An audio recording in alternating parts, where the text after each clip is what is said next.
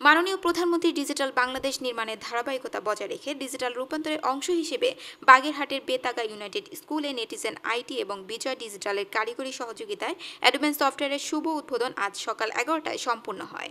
এই অ্যাডোমেন্স সফটওয়্যারের মাধ্যমে ছাত্রছাত্রীদের অভিভাবক বাড়িতে বসেই তার সন্তানের উপস্থিতি, অনুপস্থিতি সম্পর্কে নিশ্চিত হতে পারবে।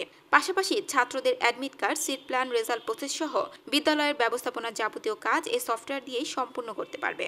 অনুষ্ঠানে প্রধান অতিথি বক্তব্য রাখেন সুশাসিত ইউনিয়ন পরিষদের অ্যাডভোকেসি গ্রুপ অব বাংলাদেশের সভাপতি এবং দেশ সেরা ইউপি চেয়ারম্যান স্বপন দাস। অন্যান্যর মধ্যে বক্তব্য রাখেন বিদ্যালয় পরিচালনা পরিষদের সভাপতি নজরুল ইসলাম, বিদ্যালয়ের প্রধান শিক্ষক প্রদ্যুৎ কুমার দাস।